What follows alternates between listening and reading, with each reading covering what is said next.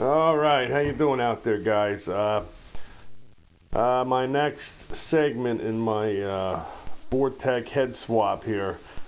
I got both heads uh, painted up with the roller rockers installed. Uh, let you take a look at them, see what you think.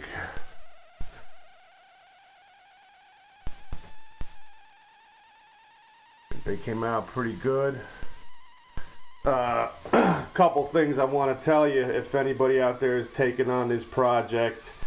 Uh, the paint you want to use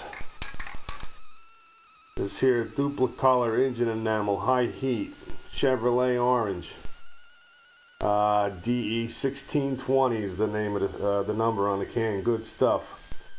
And uh, also, before you paint, you know, after you get the heads back from the machine shop, they're in pretty good shape, but they still have machine oil on them and that, you know. So before you paint them, there's this other Duplicolor product I found real good. It's a, called a prep wipe, and it's uh, it removes grease and wax, cleans and prepares surface for painting, and uh, you wipe that down, and uh, bang, you hit it with the engine enamel over here, and you're good to go.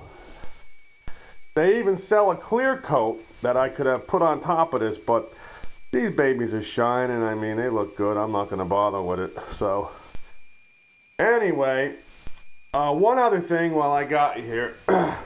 I mentioned I need an intake for this project. And it's, uh, it's a Vortec TBI intake. I jotted it down here on my, I got all my, my project stuff here. Uh, it's made by General Motors uh, Performance Products, and the part number right here one two four nine six eight two one.